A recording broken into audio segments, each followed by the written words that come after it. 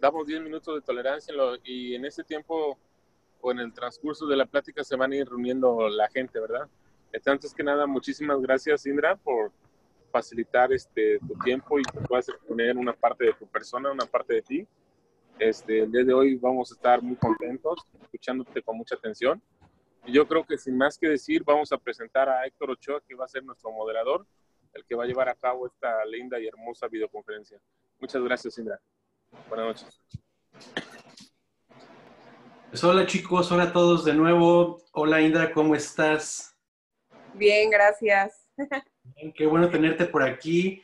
Eh, pues no sé, creo que muchos ya tenemos como conocimiento de tu trabajo porque te has dejado ver por todos lados, porque tu trabajo habla, habla por sí solo. Y, pues bueno, finalmente el hecho de que estés aquí es una perfecta oportunidad pues para platicar, para platicar de ti, platicar de lo que te motiva, de las cosas que son este, importantes para ti dentro de tu trabajo fotográfico y todo lo que quieras platicarnos porque vamos a estar felices de la vida de estarte escuchando. Y esto es una charla como si estuviéramos en el cafecito, como muy casual, muy relajada. De repente las personas van a hacer sus preguntas en cualquier momento de la, de la noche. Estaría chidísimo poder contestarles a todos. Este, las preguntas, chicos, pueden hacerlas eh, por audio, por cámara, y hablar con, con Indra normal. Y si no quieren aparecer en cámara o que se oiga su voz de repente, pueden tirar las preguntas por chat. Las iremos ahí cachando para, para leérselas a Indra y que vaya eh, platicándonos de la fotografía, ¿no? Entonces, Indra, platícanos un poquito, ¿cómo fue que llegaste tú a la, a la fotografía?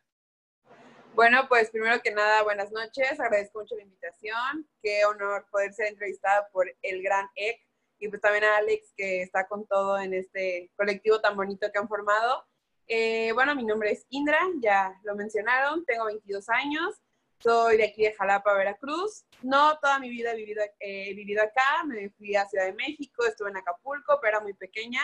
Pero bueno, he radicado la mayoría de mi, de mi vida en, en Jalapa. Estudié publicidad y relaciones públicas, me acabo de titular, le gané el coronavirus, me titulé en febrero, gracias a Dios. Eh, y pues bueno, siempre he sido una persona muy dedicada al arte. Desde que era muy pequeña, mi papá y mi mamá siempre me, mantuvieron en actividades como, como artísticas. Era como algo que me calmaba, siempre he sido medio hiperactiva. Es como que siempre estuve en danza, siempre estuve en gimnasia, en natación, o sea, cosas que realmente eran como para darme más.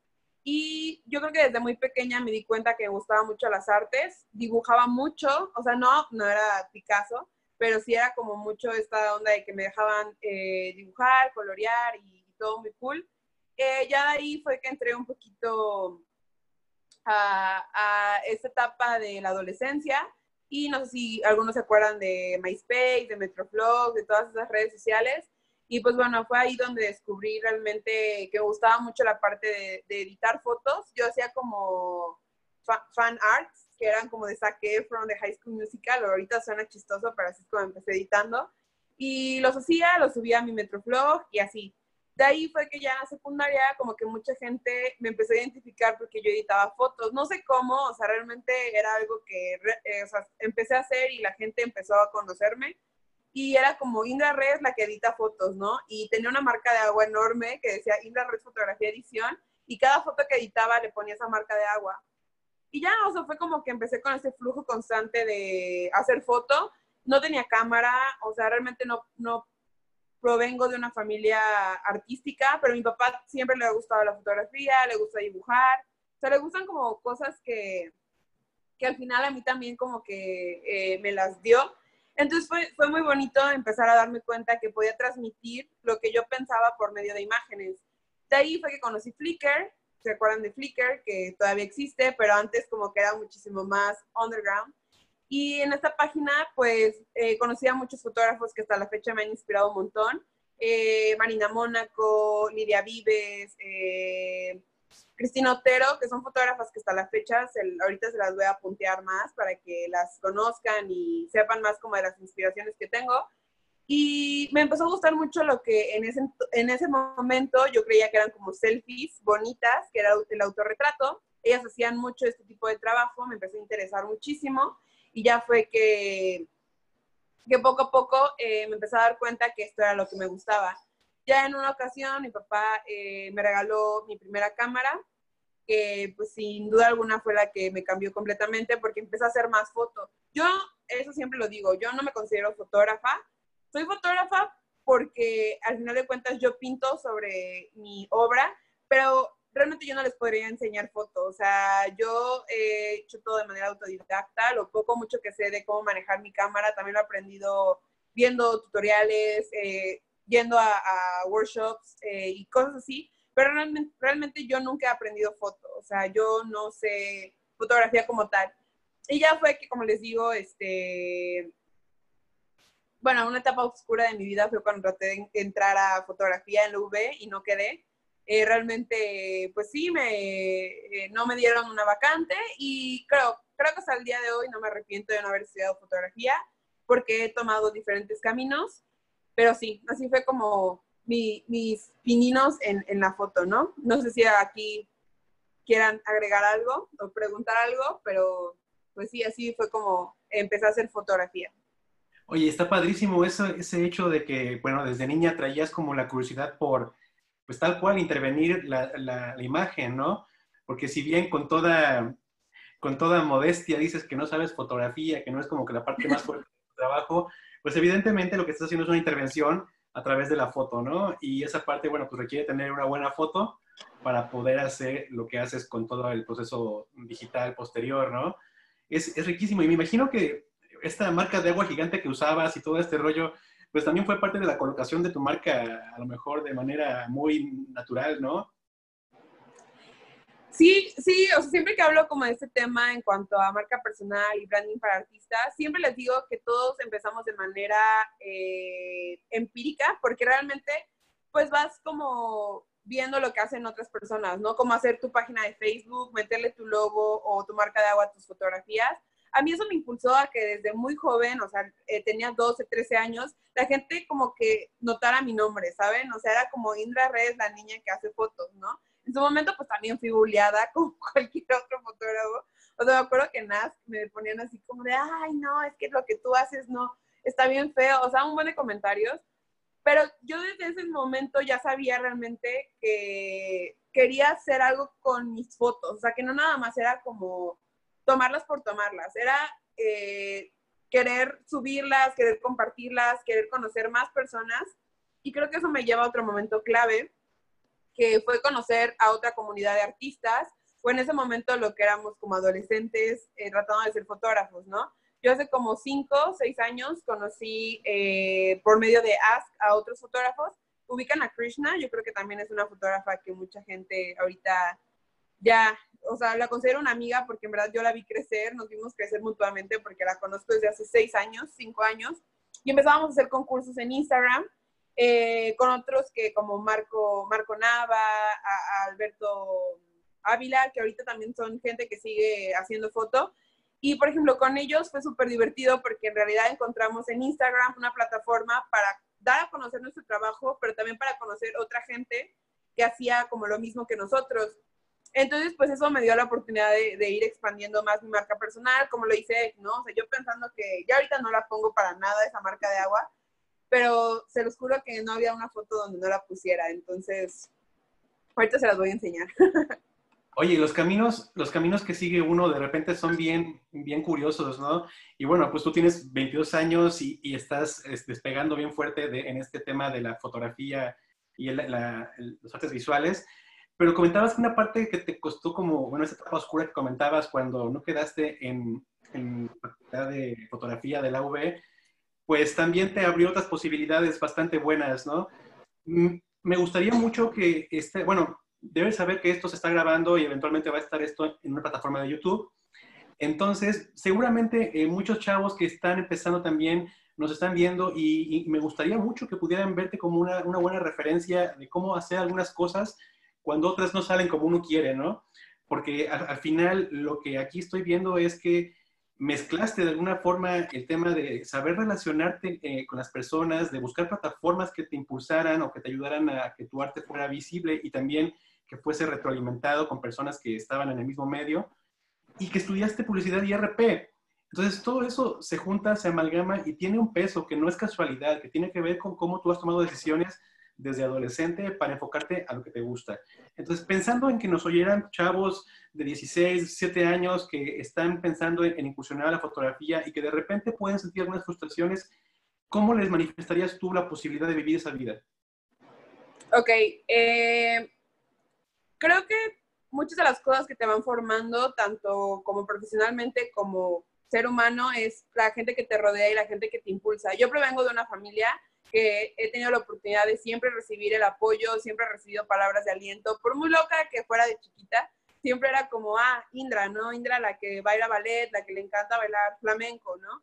Entonces, pues yo agradezco mucho ese apoyo que siempre, siempre me brindaron aquí en casa y sobre todo porque la parte de soñar, a mí nunca me dijeron no algo. Entonces, eso también hizo que para elegir mi carrera no fuera como en muchos casos que yo siempre también cuando hablo de esta parte, es como, es que a mí no me dejan estudiar artes porque me han dicho que me voy a morir de hambre, ¿no? O es que a mí no me dejaron estudiar esto porque mis, papás son, este, tal cosa y tú solamente quieren que yo estudie esto.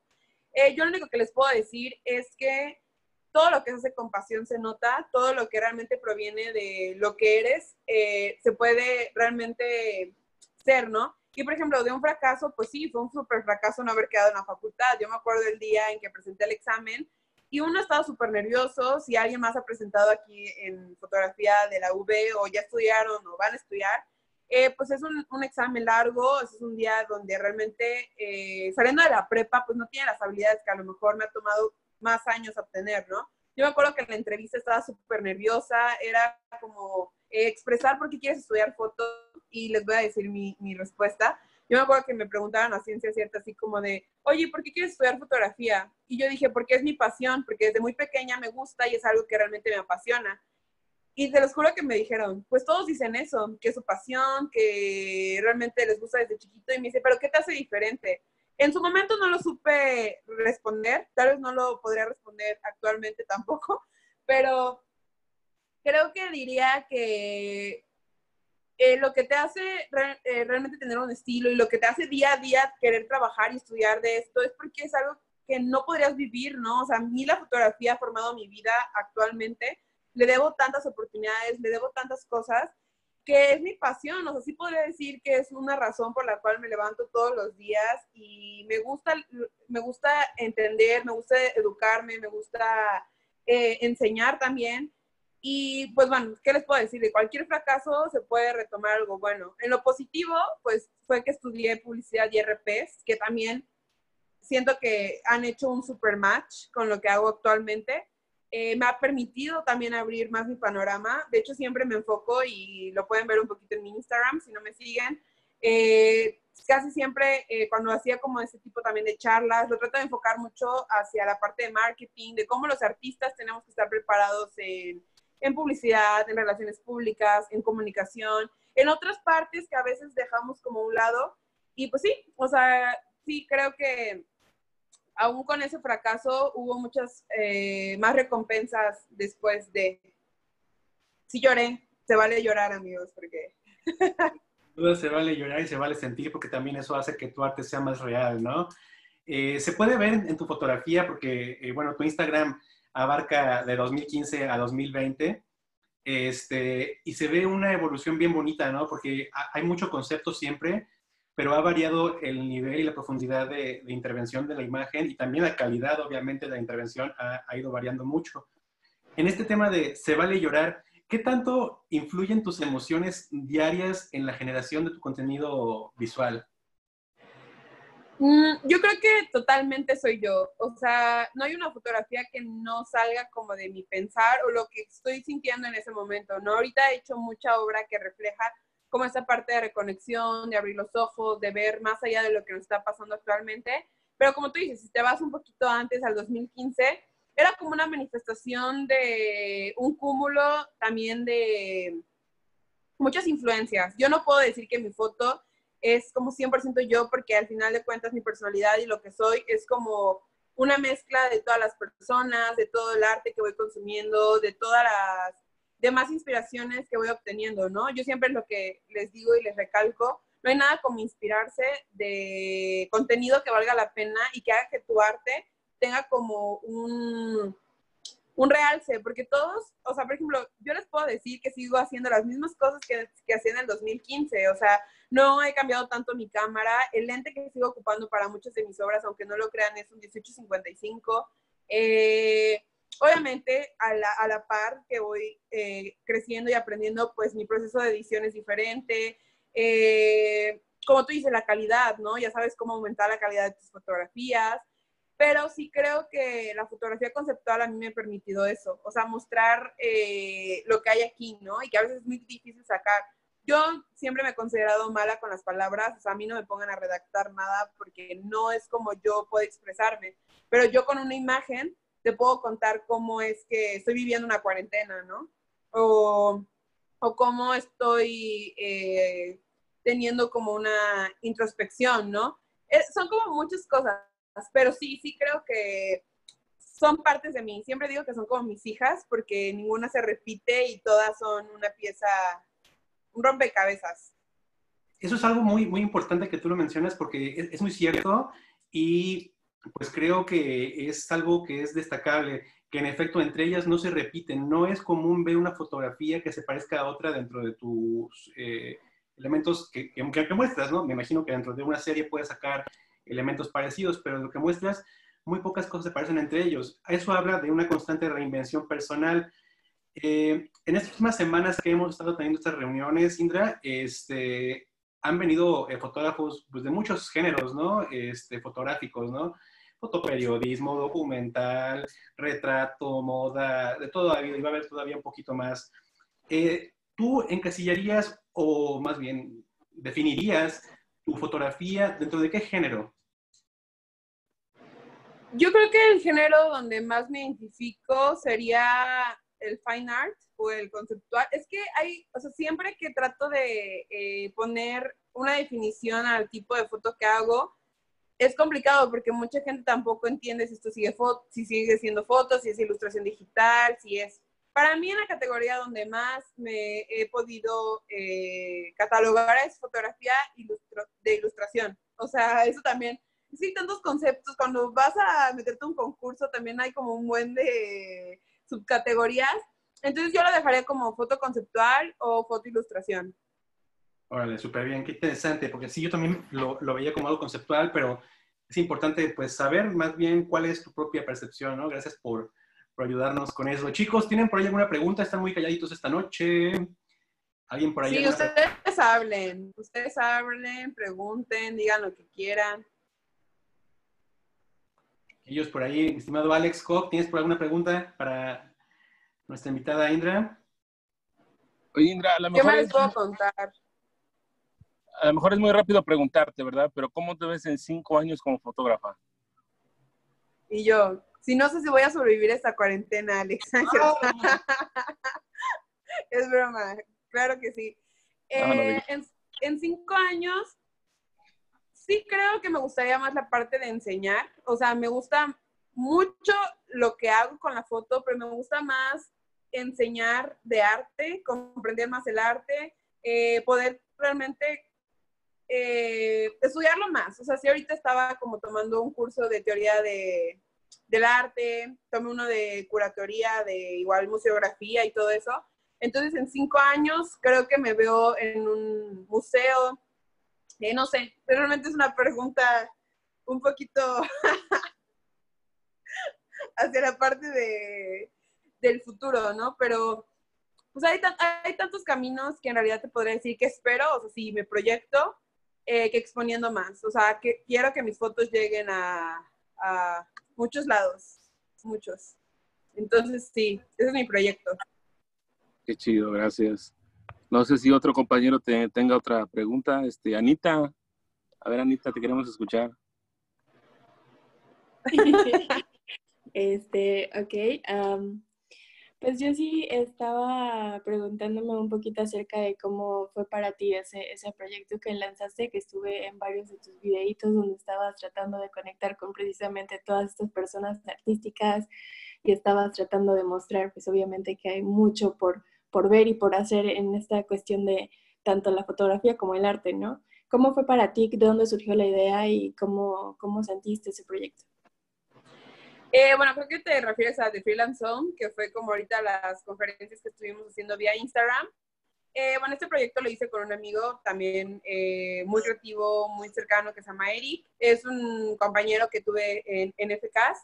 Y bueno, en su propósito siempre ha sido, después de publicidad, crear nuestra propia agencia. Nosotros tenemos una agencia que ahorita también es como un huevito que está creciendo, que es más que nada para ayudar a otros creativos a, a buscar, pues, cómo proyectarse, cómo encontrar como todos estos públicos que existen para el arte. Entonces, Freelance Zone fue justamente eso, una plataforma para poder brindar conocimientos a, a fotógrafos, ¿no? Porque, como les digo, yo sí creo que puedes ser el mejor eh, artista, pero si no sabes cómo vender tu obra, si no sabes cómo proyectarte, cómo encontrar todos estos círculos creativos que existen alrededor de nosotros, pues ese esfuerzo va a ser un poquito innecesario, ¿no? Entonces siempre hay que saber cómo venderse, eh, qué es una marca personal para artistas, cómo las relaciones públicas, porque bueno, aquí haciendo una connotación, mi tesis fue dedicada a esto, que es como relaciones públicas aplicadas a proyectos artísticos. Entonces, para mí eso realmente fue como un pum, ¿sabes? O sea, me abrió completamente la visión y me gustó mucho. Espero que se pueda repetir porque hubo una, una charla que estuvo muy chida acerca de producto sensible, que es como lo que nosotros hacemos. Y les digo, me encanta. Yo también de marketing les voy a hablar muchísimo porque es otra de mis pasiones, ¿no? O sea, eh, la comunicación, las eh, relaciones públicas, es, un, es un mar, un mar de posibilidades. Y ahorita no saben qué es, pues les recomiendo que estudien un poquito de eso, porque en realidad yo no creo que varias de las oportunidades que he tenido hasta ahorita se hubieran dado si no hubiera tenido como esta esencia en mi cabeza. Entonces, pues sí, creo que eso fue lo de Freelance Zone en palabras muy concretas.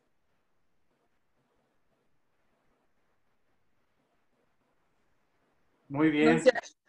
Sí, suena, suena muy interesante y creo que el consejo es muy bueno, ¿no? Porque eh, yo me acuerdo hace años, tenía, bueno, tengo algunos amigos que estaban estudiando en su momento en la facultad de, fotografía y había un problema bien serio, ¿no? Que era que, bueno, finalmente todos sabían que podían ser artistas, pero sabían sin ninguna noción de cómo vender su trabajo, cómo, cómo ofrecerlo, cómo ofertarlo en términos económicos, dónde presentarlo, cómo presentarlo, ¿no?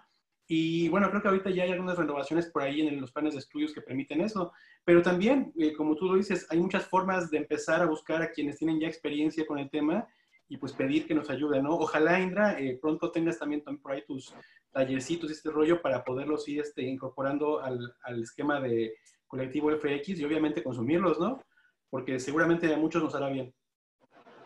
Sí, de hecho, bueno, yo les puedo contar aquí igual en el café que tuve la fortuna, si muchos no supieron o varios también me apoyaron, eh, el año pasado pude ir a, Roma a exponer, tuve una exposición en, en octubre, de hecho ya hace unos mesecitos, pero todo se dio por una convocatoria de fotografía, les puedo contar un poquito para que también ustedes que se dedican a, a la foto pues puedan tener al alcance todos estos recursos que en realidad existen, que están a un clic, que son los concursos o convocatorias de fotografía hay para todos, hay desde paisaje, comida, retratos, eh, concursos muy grandes como el Sony, Nikon, este, Masterclass.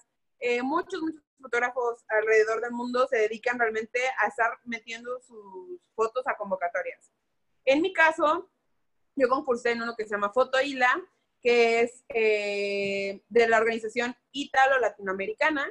Y pues bueno, yo cuando me metí era porque era acerca de la equidad de género eh, yo ya tenía unas fotos, o sea, no hice las fotos para este concurso, sino que yo ya tenía en, en mi portafolio unas fotos que quedaban como anillo al dedo. Las mandé para hacer una convocatoria gratuita, porque también eso, las convocatorias a veces son muy caras, o sea, tienes que pagar, pues sí, eh, a veces que 3 mil pesos, a veces siempre están en euros o en dólares. Eh, pasaron unos meses, me acuerdo todavía el día donde recibí la carta en la cual me decían que había sido finalista para el la era creo que nueve, novena edición. Y pues bueno, al principio, al final de cuentas, eh, era una, era como un sueño hecho realidad, porque justo el año pasado me pasó que empecé a, a concursar en todo esto y empecé a recibir varias noticias, pero era Roma, ¿saben?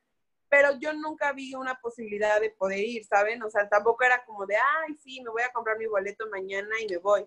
O sea, eh, no, eh, tampoco tenía como la posibilidad de, de hacerlo tan real en ese momento, ¿no? Me empezó a dar la tarea de decir, ok, ¿cómo puedo conseguir fondos, no? O sea, ¿cómo puedo hacer una propia campaña para recaudar el dinero necesario para irme? Empecé a hacer un plan de relaciones públicas, que de hecho por eso les digo que hice mi tesis, eh, se me dio, o sea, sí creo que también el universo a veces conspira a tu favor. Eh, y también mucho trabajo, o sea, mucho trabajo de, de estar eh, mandando mails. No tienen ni idea de cuántos correos electrónicos envié pidiendo apoyo, pidiendo obviamente este, pues ayuda, difusión, todo lo que fuera necesario. Pero aquí sí tengo que recalcar que mi idea más grande fue haberme entrevistado a mí misma para la V, me, abrieron como una, un espacio en, el portal de, la UB. Entonces, esto me permitió que mi nota o mi premio llegara hasta oídos de la rectoría. Entonces, esto me apoyó mucho porque al final de cuentas la ayuda para el boleto salió completamente de ahí. Les agradezco completamente también a la universidad el apoyo. Y, y sí, así fue como me pude ir a una exposición que sin duda alguna cambió mi vida. Espero es que ahorita creo que no tengo fotos aquí en el celular, pero pues bueno, eso es como algo que les puedo decir que a mí me ha funcionado, que a mí me funcionó, o sea, cuando en mi vida iba a pensar que iba a exponer en otra parte del mundo, ¿saben? Y sí, fue una de las cosas más bonitas que me han pasado. Fue una, como les digo, ver también a otros fotógrafos, a las otras fotógrafas más bien, de Argentina, de, de Perú, de... Yo no me acuerdo de qué otra parte, eh, fue fantástico y ha sido de las experiencias más enriquecedoras. Y pues bueno, creo que fue cuando dije sí soy fotógrafa. No, pero es, bien complicado, es bien complicado también aventarse a perderle el miedo y que tu trabajo sea juzgado por los ojos de otra persona, ¿no? Pero bueno, en esa tarea les quería compartir en un momento. Sí, sin duda la exposición de la fotografía pues también conlleva la exposición del yo eso lo platicamos hace unos días por aquí y pues sí es un reto de repente el decir, aquí está, no solamente los 5.000 seguidores, 10.000 seguidores de Instagram, sino todo el mundo puede ver ahora mi trabajo y, hablar de, de, mí por esta obra, ¿no? Eh, me gusta mucho algo que estás diciendo porque creo que, que, confluye con muchas de las historias de éxito que tienen que ver con casi todo en la vida, pero concretamente también en la fotografía creo que aplica mucho, que es el trabajo duro, ¿no? Algunas personas sienten que de repente, bueno, pues tener la foto, la cámara, perdón, aprender algunas herramientas de edición o, no sé, hacer algunas cosas que sean como atajos, van a permitirnos destacar y brillar en el entorno fotográfico. Y lo cierto es que requiere una disciplina, requiere un esfuerzo constante, ¿no? Y una vez que estás ya dentro, requiere más trabajo. Entonces creo que eso es algo que te, que te dio muy buen fruto, ¿no? El, el, ir tocando puertas, el irte eh, aceptando los nos, porque también hay muchos nos en el camino, pero pues con dos sí, tres sí que lleguen se hace todo un sueño realidad, ¿no? Sí, creo que en este, o sea, mi primer consejo siempre es creértelo. O sea, creerte que tu arte vale la pena, que tiene un valor, que al final de cuentas todo lo que se hace con una, como ya lo mencioné, con una esencia y con una pasión se nota. Yo nunca he hecho una obra pensando como, ah, es que esta se va a ver más bonita si le imprimo y vendo unas playeras. O esto se va a ver mejor eh, en tal, en tal, ¿no? Creo que sí vamos nadando con la corriente. Evidentemente hay ciertos eh, filtros, ciertos cánones que ahorita es como eh, la época del minimalismo, ¿no? Entonces como que tratamos de adaptar lo que queremos o lo que, nos, lo que nuestro ojo quiere transmitir, ¿saben?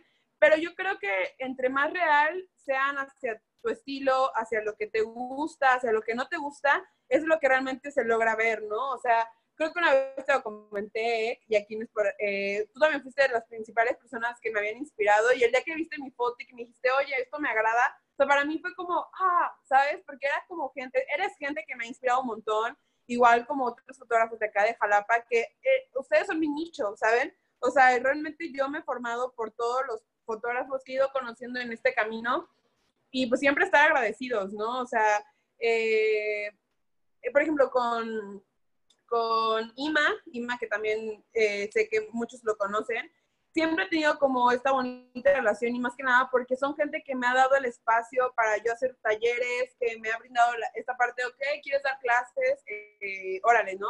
Y digo, si no te rodeas de personas que confíen también en tu talento, es bien complicado brillar. Entonces, eh, siempre lo repito, o sea, rodeense de personas que crean en ustedes, pero principalmente ustedes crean en ustedes mismos, porque sé que ya lo dije con mil palabras, pero es lo más complicado. O sea, y no importa la edad que tengan, porque eso también supone que es que entre más chicos es más fácil.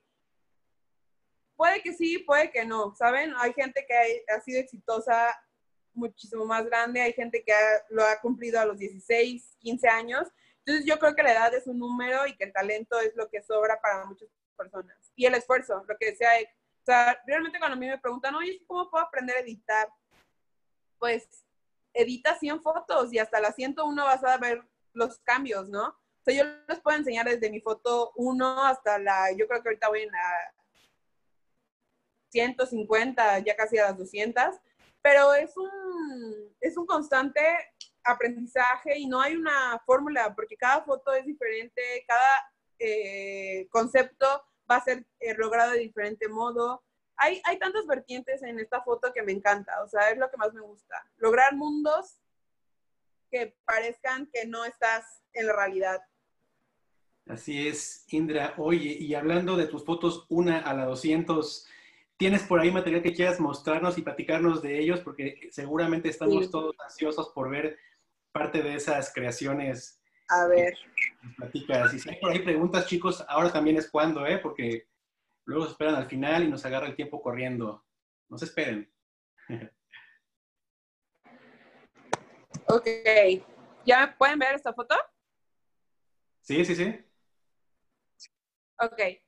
Eh, les puedo compartir un poquito de la postproducción. Yo sí casi nunca enseño como los antes y después, porque para mí son como desnudar, por así decirlo, a mi obra. Pero bueno, ¿qué les puedo enseñar, no? Más que toda la postproducción que tiene lo mío. No les estoy diciendo que esto sea lo que tienen que hacer, ¿no? Hay fotos que al natural son bonitas, hay fotos que son logradas desde eh, la producción, pero yo encuentro todo lo que le quiero meter en la postproducción, ¿saben? Entonces, por ejemplo, aquí se pueden dar cuenta que ya desde la producción ya, eh, existía como este escenario, el concepto, este, a lo mejor el, peinado, los elementos, pero en la postproducción es como realmente le metí la magia, ¿no?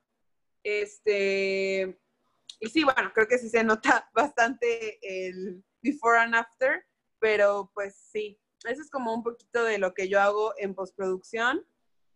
Les voy a mostrar otra. Si tienen dudas, igual acerca del proceso de edición, pues me las pueden decir ahorita para que también las podamos contestar en el en vivo. Perfecto. Por ahí preguntas, chicos. ¿Alguien tiene una pregunta respecto al proceso de edición de la fotografía anterior? Por ejemplo, esa es creo que mi obra más reciente. Se llama Raíces porque es como justo el cómo me siento ahorita, ¿no? De tener que conectarnos con lo más profundo y yo amo, amo, amo las flores. O sea, creo que es también uno de mis sellos, meterle flores a casi, eh, bueno, muchas de mis obras tienen que ver con esta cuestión y me encanta. Entonces, eh, pues sí, tal vez ahorita me siento un poquito más melancólica, por eso esos colores. Eh, la tierra también, pues siempre tiene grietas. O sea, son muchas cosas que a veces no me gusta yo decirlas porque prefiero que la gente que lo ve me diga qué es lo que le transmite o qué es lo que siente, pero pues sí, eso es como de mis obras más, más recientes. La subiste ayer o antier, ¿no? Ay, digo, o, ayer, ¿no? Ayer. Sí, de hecho, tengo que compartirles que soy una persona muy ansiosa, entonces nunca me guardo las obras, o sea, no puedo. O sea, por mucho que diga, ah, esta la voy a subir la siguiente semana o esta la voy a subir este el viernes, pues no, no puedo. Tengo un flujo de, tengo un flujo de trabajo muy rápido, entonces eh, el mismo día que tomo una foto ya la estoy editando y casi casi la estoy subiendo. Ya no tanto, ya no tanto, ahora sí ya como que trato de tenerle más su paciencia y su, y su tiempo, pero sí soy súper impaciente en cuanto a crear obra. Seguramente eso va a ir eh, cambiando de mil formas, a veces serás más acelerada, a veces serás más pausada, y eso es natural, creo que en, todos los procesos creativos. Oye, esta foto me encantó porque cuando la, vi ayer justamente me remitió a eso, a esa sensación de, pues de enclaustramiento. De, lo que me llamó mucho la atención fue el peso del, del, individuo sobre la tierra, porque la está plegando. Me imagino que está sobre una sábana y la sábana fue la que cambiaste a, a esta textura, ¿no? Porque se ve hundida, se ve hundida en el piso. Entonces, el peso de la persona que modifica el suelo, a mí se me hizo súper simbólico, súper emblemático y muy, muy fuerte. ¿eh? Creo que se las puedo enseñar. Este, ahorita la tengo aquí como en sin editar. Son las primeras personas que lo van a ver. Les digo, casi, casi nunca, nunca, nunca enseño como un before and after, porque, o sea, siento que también les puedo enseñar, no sé si ubican a Ben Shorts. Ben Shorts es como de las personas que más me ha inspirado, es un creador de contenidos. Y hace poquito le tuve la, la, la oportunidad de sacarle fotos y yo era la más fan. Entonces, pues, se las puedo enseñar también, porque nadie las ha visto. Entonces, en exclusiva para Colectivo solo, solo YouTube. Solamente. Bien, les voy a enseñar. Es pantallazo, ¿eh? Perdón por la... Por ejemplo, esta es la... Bien, sí, sí, sí. Pero como pueden ver, o sea, realmente sí se cambian elementos, o sea, sí, por ejemplo, o sea, quitamos la ropa interior y así, pero en esencia yo ya sabía lo que quería hacer. Eso es lo que nunca creo que me logro entender, de que yo ya me imagino tanto en mi mente la imagen final, que yo ya sé cuál es el proceso que tengo que hacer, ¿saben? O sea, por ejemplo, aquí en vez de ocupar una, una sábana negra o un fondo oscuro, ocupé este porque como sabía que quería tierra, ya en la postproducción hay cosas que aunque tú las quieras cambiar, el lienzo lo es todo. O sea, siempre que digo que yo pinto sobre la imagen, es justo eso, porque para mí las imágenes son lienzos, ¿saben? O sea, son como tener un lienzo en blanco, que aquí no está en blanco, pero los elementos que tú pongas son como pintura acrílica. Entonces yo ya sé si necesito más textura, si necesito este, volver a dibujar ciertos trazos. O sea, es, es es lo que yo me identifico con la foto que hago, o sea, que soy una pintora de, de esto. Entonces, pues sí, esa es como ahorita una foto muy reciente que, que me gustó. O sea, realmente también hay un trabajo, hay, hay fotos que nunca he publicado porque no me gustan.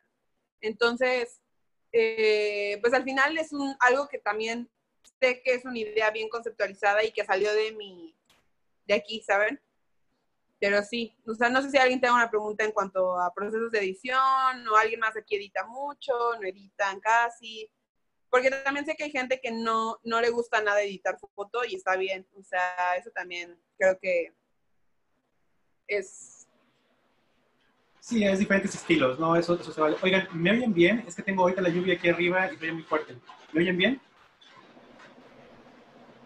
Ah, ok. Es que está lloviendo bien fuerte y se oye el techo. Este, ¿Alguna pregunta, chicos, por ahí que tengan? Por ejemplo, les voy a enseñar otra.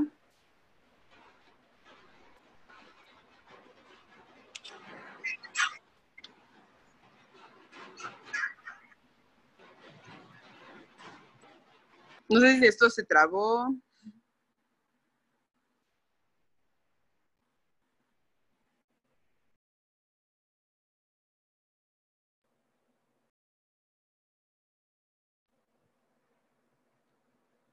Ahora.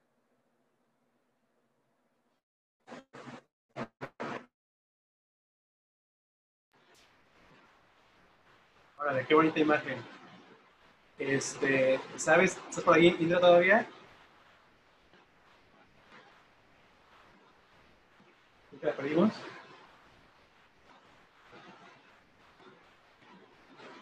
Oh, rayos, esa lluvia y Telme que te llevan bien.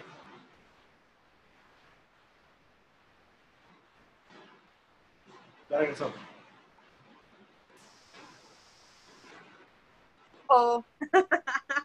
Hola, Hola, ya, perdón. ¿viste por un momento? Problemas técnicos, una disculpa. Sí, no pasa nada. Este, oye, estábamos viendo esa foto que subiste reciente, este, la de la chica en blanco y negro con los detalles en, en rosa. Sabes, hace poco, bueno, no hace poco, hace unas semanas, eh, tuvimos por ahí una, una este, controversia respecto al tema del uso de la desaturación selectiva. Y comentaba yo que es un recurso que finalmente ha pasado de moda, que pues que de repente se abusó mucho de él y que ahorita de repente es muy complicado eh, llegar a, pues imágenes con desaturación selectiva que funcionen y qué mejor que tú que nos digas, aquí está una que funciona bien chingón. Te voy a compartir otra vez para... Vale, dame un segundo, voy para audífonos porque no oigo nada ya. Sí, sí, sí. Bueno, para los que siguen aquí, en lo que viene, que creo que también ya estoy viendo el agua por acá, se escucha raro, nada más díganme. Eh, pues este es un autorretrato que también para mí era como esta dualidad que las dos, que pues como personas, ¿no? O sea, ni tan buenas ni tan malas. Y tal vez suena como muy poético, pero pues en realidad era lo que quería transmitir, ¿no? O sea, y justo un amigo me había dicho algo sobre la escala de grises, que nada es blanco ni es negro, entonces por eso es que no hay ni tan blanco ni tan negro. Entonces, eh, creo que lo que hablaba de, la saturación selectiva, lo quise lograr como en los cachetes y así, porque siento que es algo que siempre es muy presente en mi obra y quería hacer algo en tonos eh, pues más oscuros, pero sin perder como la esencia de, de lo que siempre hago. Pero sí, o sea, como les digo, es de experimentar. Yo siento que siempre en todo este rato que llevo haciendo fotos, sí he tenido como mi estilo, pero también ha sido como un cúmulo de que si me gustan ciertos tonos, los trato de ocupar, aunque no vaya mucho con mi paleta de colores. Pero siempre siento que todo es experimentar y como les decía hace rato, yo creo que el autorretrato ahorita es una muy buena tarea para todos no me dejará mentir Alex, que también le gusta esta cuestión como conceptual, que a veces hay ideas que se te ocurren y que quieres hacer, pero no tienes modelos, no tienes a nadie cerca que te permita como sacarlo de. Entonces, pues siento que ahorita es un muy buen rato para agarrar tu cámara y tal vez no a la primera van a ser ideas súper locochonas, ¿no? O sea, a lo mejor lo primero que hacen es un autorretrato bonito de ustedes con su cámara o un juego de luces, pero pues sí, el autorretrato creo que es las, las cosas que también hago muy frecuentemente. Y, por ejemplo, Anita aquí también sé que es como alguien que le, le da, te sigo, ¿eh? Sí sigo lo que haces. Y, por ejemplo, en cuestión de maquillaje, utilería, eh, todo eso, pues me agrada mucho porque es como de wow, o sea, la gente a veces no sabe el trabajo que es hacer eh, toda esta cuestión de diseño, de transformarte a ti mismo. Y pues sí, me encanta. O sea, creo que me encanta la gente que se atreve a experimentar consigo misma. Sí, sin duda es un tema que hay que, hay que aprovechar ahorita porque justamente como lo dices, ¿no? si no tenemos más sujetos que nosotros mismos, es el mejor momento para experimentar. Ah, el domingo pasado tuvimos de invitado a Ángel Rueda, que hace mucha fotografía estenopeica, y, este, y justamente también nos dio como la, la inspiración ¿no? para hacer estos experimentos eh, eh, en corto aquí, ¿no? Con, con, la, la, foto estenopeica, ¿no? El autorretrato es un recurso que definitivamente vamos a estar, yo creo, buscando por ahí este, practicar. Yo, y bueno, creo que algo de lo que decía este, Adriana, Adriana que a veces nos encerramos como en estas cuatro paredes y sí, son momentos complicados para la creatividad porque pues nunca has tratado de, de ver qué puedes hacer, todas las fotos que les he enseñado todas las he tomado aquí en mi casa, ¿no? O sea, y sé que tal vez mi postproducción es mucho, porque en realidad pues no es como que tenga tierra o no es como que tenga este, muchos de los elementos que ven en, en, mi trabajo, pero lo que voy es que siempre se puede ser creativos. O sea, aunque no tengan tal cual un, un elemento, pueden ver la manera en que pueda funcionar. Eh, un consejo que siempre les doy, no sé si han visto la típica foto de una luna que está como la chava así abrazando, o de eso lo hacen con cartón y ya de ahí en Photoshop le pueden dar brillo, o sea, hay como tantas cosas que eh, les puedo compartir igual videos de cómo hacer tu propio set en casa. Yo hasta la fecha nunca había tenido un ciclorama, siempre era con cartulina, siempre era con sábanas, con telas. Y creo que es lo más bonito, o sea, explotar completamente lo que tenemos aquí, porque a veces sí eh, creemos que el tener la mejor cámara o tener el mejor equipo o tener eh, un set de luces increíble, va a hacer que tus fotos sean las más bonitas. Puede que sean las mejor técnicamente eh, hechas, ¿no? Y eso está espectacular. O sea, yo como les digo, es un balance entre la foto y el producto final. Pero sí creo que entre más creatividad, entre más fondos eh, raros ocupes, entre que ocupas tus lámparas de la casa, pues eso también es divertido, ¿no? Es jugar un poquito con, con los elementos que tenemos cerca y, y a darle. Es realmente volver a ser niños jugando, ¿no? Nunca hay que perder. Hay una frase que me gusta mucho que dijo, ah, pues Picasso, que todo, todo niño nace siendo artista, pero es muy complicado ser artista cuando empiezas a crecer, ¿no? Porque sí, o sea, en realidad, cuando eres pequeño, pues te dan unas crayolas y tú dibujas tu universo, ¿no? O cuando te dan un disfraz, eh, era como, wow, te imaginabas escenarios completos en tu cabeza. Pues yo creo que es lo mismo ahorita, que simplemente nos da miedo sacar esas ideas locas que tenemos. Yo siempre les he dicho, no importa que te imagines un elefante arriba de una montaña y que el elefante tenga 100 globos, o sea, porque esas ideas locas son lo que van a hacer que tu trabajo hable por ti solo y digan, ah, esa loquera la hizo este Héctor, ¿no? O esa loquera la hizo Indra o Alex. Entonces, todas esas cosas que empiezan a formar tu estilo personal son tus ideas más, más... Eh, más locas más, sí, más fuera de la realidad. Y eso está, eso para mí es lo más valioso de hacer arte. Indra, eso me lleva a una de las preguntas que quería hacerte cuando comentabas del tema de cómo hacer que un mismo espacio pues se vuelva eh, tan versátil, ¿no?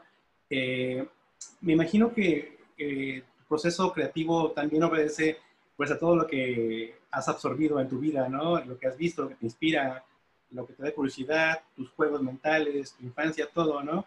¿Cómo renuevas tú constantemente dentro de ti esta inspiración para crear imágenes que justamente no se repiten? ¿Se trabó? No. ¿Estás? Yo, sí se trabó, ¿verdad?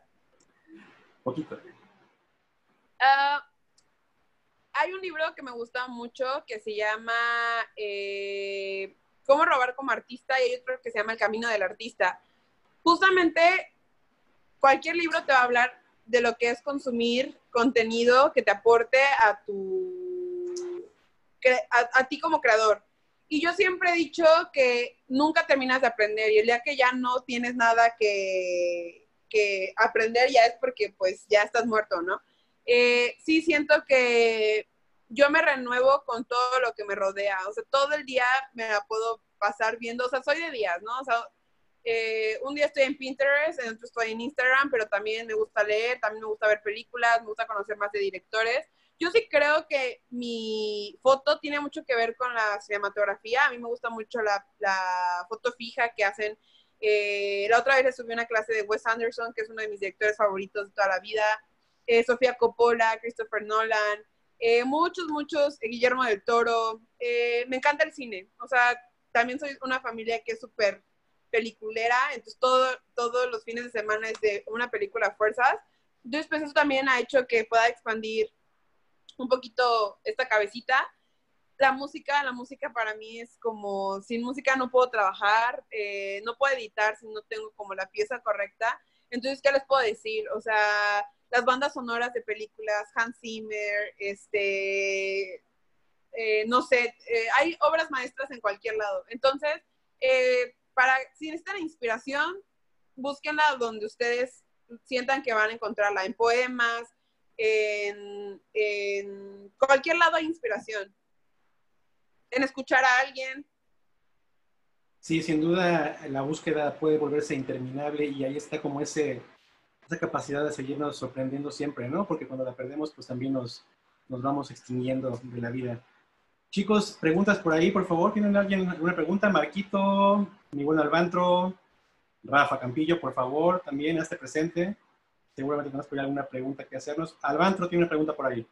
Eh, eh, más, que, más que una pregunta, más bien como que tengo miles, ¿no? Este, oh, no, no sé ni por dónde empezar. Mira, estoy, estoy muy impactado pues conozco el trabajo de Indra, la, este, la sigo en Instagram, creo que también la sigo en Facebook y se me hace así bastante chido. Eh, lo, lo, que, lo que me intriga mucho es cómo, cómo pasa eso de que te empieces a concebir como un creador. Okay. Eh, yo yo eh, estoy así como, como súper, súper impactado. Llevo um, como 15 años de fotógrafo y, y, hay gente que me ha propuesto como esta cosa de, de, de exponer en una galería y, y, hacer ese proceso de, ser artista y no sé cómo se puede hacer eso, ¿no? Eh, este, ¿cómo, ¿Cómo le haces, pues, para, para de pronto pensar en lo que haces como arte? Eh, como concebir tu, tu, trabajo como obras. Eh, ¿Cómo pasa eso? Ok. Eh, siento que esta pregunta... Ok, a ver, va, yo, es, una muy, muy buena pregunta. Eh, en la tesis que decidí hacer sobre relaciones públicas, había un capítulo sobre evaluar a otros artistas, ¿no? Y cómo es que se habían hecho famosos, o simplemente cómo es que alguien puede considerar lo que tú haces arte, ¿no? Porque es lo más complicado, ¿no? O sea, que la propia crítica, o sea, que llegue alguien y te diga, ah, esto sí es arte y esto no es arte. Eh, creo que vivimos en un mundo en el cual todo ya lo tenemos a la vuelta de un clic, ¿saben? O sea, creo que eh, todo lo que nos ha pasado con el Internet y todas estas oportunidades es porque literal estamos a una pantalla de cualquier persona en el mundo, ¿saben? O sea, si ustedes quieren stalkear a, no sé, a Kunz, ¿no? Kunz, que es ahorita uno de los creadores más importantes de, este milenio. A mí me llama mucho la atención porque es muy criticado y la gente va a decir que lo que hace no es arte, pero de todas maneras está llorando en su fortuna de millones y millones de dólares, ¿no? Ah, un maestro me dijo que algo que era muy cierto. Para considerarte artista son tres fases, ¿no? Que es eh, una organización. Una organización te tiene que avalar como artista. O sea, que mi, yo sé que ahorita haría como miles de ejemplos de decir como de que, ah, sí, aquí en la, en la galería, eh, ¿cómo se me fue el nombre de la cultura que tenemos aquí en Jalapa? Bueno, del Centro Cultural este. me vi muy tonta. Pero bueno, el siguiente es la crítica. La crítica no nada más va a provenir de los seguidores que tengas en Instagram. Hay gente con 500 seguidores que te prometo que vende más cuadros que muchas otras personas, ¿no? Pero la tercera es justamente eso, de que si tú no te la crees y eres tu propio crítico, la otra gente no importa por mucho que te diga misa, nunca vas a darle ese valor que necesitas eh, en tu arte, ¿saben? Yo me tardé mucho, o sea, eh, digo, mucho, porque a lo mejor no tengo 15 años de experiencia y eso es increíble. Yo ojalá llegue a tener 15 años y no me vuelva loca con toda esta situación del arte y así, pero yo sí creo que es tomarle más ese valor que merece tu, tu obra. O sea, sí decirle como de, ¿sabes qué? Me tardé un día completo en hacer esto, me tardé más de 36 horas editando una pieza, eh, en la preproducción no tienes idea de cuánto me tardé en conseguir todos los elementos. O sea, son todas las cosas que te forman, ¿sabes? Y no es nada más la fotografía, es todo lo que eres. ¿Cuántos años te has tardado en aprender todo lo que sabes? ¿Cuántos workshops has pagado por aprender de los mejores? Eh, ¿Cuántas eh, horas has dedicado a YouTube para ver tutoriales, para saber cómo limpiar bien la piel, ¿sabes? Entonces es un cúmulo de cosas que te van formando y te van diciendo, hoy estoy para darle este valor a mi trabajo y hoy voy a decir como de, ok, ya, o sea, eh, mi trabajo vale la pena que esté en un museo. Y digo, ¿quién no ha ido a un museo y ha criticado lo que hay ahí? O sea, la crítica siempre va a existir, la gente siempre va a decir si algo es bueno, si algo es malo, pero al final de cuentas, pues es, es lo que hay, ¿no? O sea, y hasta los artistas más consagrados, o sea, hay gente que se, que se atreve a criticar a Pink Floyd. Ah, no, no, pero o sea, o sea, en eso es como un ejemplo de que por mucho de que hagas obras de arte, la gente va a seguir teniendo una opinión hacia tu trabajo, ¿sabes? Yo creo que Leonardo da Vinci nunca se cuestionó en realidad si era un artista, simplemente él empezó a crear. Y digo, eh, es, hay un dato muy curioso que les quiero dar. No sé si sepan que la edad consagrada para cualquier artista es después de los 40. O sea, no hay un artista que haya sido consagrado antes de vivos. Eso también me vuela mucho la cabeza, ¿no? O sea, casi todos los artistas como Miguel Ángel, Da Vinci, eh, Picasso, Van Gogh, siempre se hicieron más famosos cuando ya estaban muertos. Entonces eso te habla mucho acerca de cómo es complicado consagrarse y tener un nombre, ¿no? O sea, pero yo creo que eso es fundamental y es mi único consejo. Dale valor a lo que haces, piensa en cuántas horas has invertido en lograr esto. Entonces, pues sí, eso es como lo que yo te diría. No sé si tengas como algo más que agregar a eso o si contesté tu pregunta, si de plano me debrayé. No, la contestaste muy bien, muchas gracias. Este, y felicidades, tu trabajo es súper chido. Muchas gracias. No sé si hay más. O sea, hay que pueden preguntar. Sí, yo, por ahí. ¿Me escuchan bien? Ahí está Marquito, sí, te oímos. Hola, Indra. Hola a todos. Buenas noches. Hola. Oye, Indra, este... Oye, yo tuve... Desafortunadamente me perdí tu workshop hace años y ya no me ha tocado otro. Este, pero hoy me interesa tu visión. Tienes una visión muy distinta de lo que es tu proceso creativo, ¿no? Tú estás creando desde, desde el momento que estás cogiendo la fotografía. Y luego vienes y compartes con el grupo de fotógrafos que normalmente el proceso creativo es en otra línea, porque nosotros buscamos una fotografía que ya desde el momento de la toma en que tendría que quedar bien. Y me gustaría saber tu opinión, porque supongo que pues tú de alguna forma ves nuestros trabajos, bueno, directos, y Creo que a se veces tú como editora de foto, como, ¿me oyes ahí? A ver, me voy a mover un poquito, es que mi internet está muy malo. Si no me llegase a oír, Sí, si no me llegase a ir, lo mando por escrito.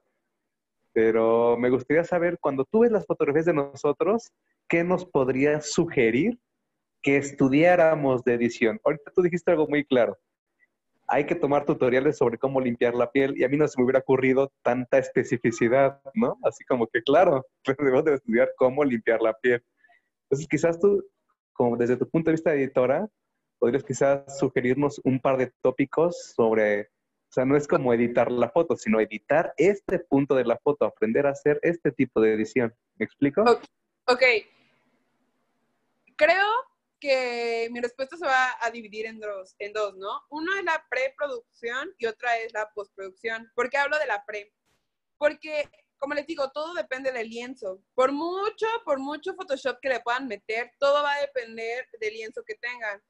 Eh, sí creo que hay algunas fotos, y no nada más con la comunidad o, o aquí, que a veces veo y digo, wow, si le hubieran metido un poquito más al color de la ropa, si hubieran buscado más este ángulo, o sea, hay como ciertas cosas que se pueden mejorar desde la preproducción, ¿saben? Sí, creo que para hacer foto conceptual hay como tres cosas a resaltar muchísimo. Uno es la, la parte de la caracterización, o sea, qué peinado, qué maquillaje, qué ropa, eso es súper importante. Dos es eh, la paleta de colores que estés manejando, ¿no? O sea, sí le puedes meter muchísimo color a tu imagen, pero también es importante que todo lleve como un equilibrio en cuanto eh, el cómo se ve una imagen. ¿Por qué? Porque eso va a hacer que se vea más profesional y muchísimo más, más, este, eh, pues, eh, ¿cómo se dice? Conceptualizada. Y tres es eh, buscar mucho esta cuestión de la luz. O sea, si ocupan luz natural o luz eh, de estudio, creo que es fundamental, sí, la luz para todos. Ahora en la postproducción. Por mucho que haya dicho lo de la piel, esa es otra cosa que creo que mucha gente piensa que hago y no, es yo, no hago nunca esta cuestión de la piel súper perfecta, porque para mí eso no es importante, o sea, como que ya el cúmulo de la imagen hace que esto pase a segundo plano, entonces nunca es como que eh, en la foto de moda es súper necesario, porque obviamente la foto de moda requiere otra técnica en cuanto a limpieza, en cuanto a todo. Yo no lo hago, pero sí creo que en edición hay como dos cosas que yo creo que son súper vitales. Uno es, eh, ay, no sé, el color grading, que se me fue lo, se me, fue en español, ¿cómo se diría? Como eh, hacer que todos los colores de una foto armonicen. Yo he puesto pájaros que evidentemente no están en mi casa en ciertas fotos, que de hecho se las voy a enseñar, a ver si me deja compartirlas para poder pl- platicarles un poquito más del proceso de edición. Ay, esperen. Bueno, creo que no la tengo aquí guardada, pero eh, si vas a meter un elemento que sea falso, a lo último, dale este plus de color para que toda la imagen tenga la misma gama de color. Porque hay gente que, que ya después de que le metió un elemento, como que ya no le ponen nada, entonces se ve súper falso. Entonces, como que esa cuestión es como algo que, que, que veo como súper importante. Y dos, es que, que, que eh, para mí las texturas son muy importantes. Entonces, casi siempre eh, le trato de añadir una textura, aunque sea muy sutil, de ya sea como textura grunge, textura vintage, textura de, de pintura, porque eso es lo que hace mi acabado. Mucha gente se pregunta cómo es que logras una foto tipo pintura, pues es con texturas, o sea, es poner textura sobre textura, sobre textura, sobre textura. Entonces, te voy a pasar un, un video de YouTube que me gusta mucho porque explica este proceso como de fine art, de cómo es que logras estos tonos como muy de, de película. Eh, hay muchos tutoriales, hay tutoriales para lo que se les ocurra, hasta cómo poner un tercer ojo, hay un tutorial. O sea, hay, hay, para, hay para todos, entonces pues, pues sí, eso creo que serían mis, mis consejos. Pero si les digo, todo está en la preproducción también. Por mucho que puedan hacer en Photoshop, eh, gran parte también lo van a lograr eh, arreglando un poquito más eso. No sé si contesté también tu pregunta, es que a veces se me va. Soy dispersa. Sí, gracias, está muy bien. no sé si alguien más tengo otra Muy pregunta. bien, chicos, por ahí tienen preguntas. Eh, yo tengo otra pregunta. Este, soy Alex. Y yo, Alex, Dios. ¿Qué, qué, qué- qué opinas de los fotógrafos de Jalapa? Y yo, se está cortando la señal. Ah, es cierto. Ay, pues siento que en últimos años se ha formado una comunidad bien bonita porque también, o sea, yo cuando empecé en esto tenía 13 años. Obviamente a los 13 pues tampoco conocía mucha gente. eh, todo lo que empecé a hacer era como pues como niña, ¿sabes? O sea, yo ahorita veo a muchas de las personas que a veces van a los workshops, también tienen como 14, 15, y digo, ahora, qué bonito que al final de cuentas también ya estés desde muy pequeño profesionalizando algo que te gusta, hablando a través de las comunidades, ¿no? Eh, creo que aquí en Jalapa hay mucha creatividad, hay mucho por donde verle, tenemos eh, arte por todos lados, eso es maravilloso, o sea, saber que un día va a estar Yasub, que otro día vamos a tener aquí en el JJ Herrera una obra de teatro, o sea, hay mucho, mucho arte. Ojalá, ojalá la gente fuera tan bonita como ustedes, o sea, que se uniera más, que apoyara más el trabajo de otras personas, porque como me han tocado fotógrafos muy buena onda, que me han eh, ayudado también mucho, hay otros que ya de plano, pues no, pero siento que es, eh, es más la personalidad de la gente, porque en cuanto a talento hay muchísimo talento. También eso, que el estilo tiene que variar un poquito más, ¿no? O sea, sí somos fotógrafos, eh, todos, en, la- en su mayoría tendemos a empezar igual, pero hay que buscar el cambio, o sea, inspirarnos también de lo que hay por fuera, ¿saben? Pero sí, me caen bien. Gracias. Y yo tengo, tengo mis favoritos. Guiño, guiño. ¿Quiénes son? A ver, dilo. No, no Tu es top cierto. 10. Tu top 10. No, no-.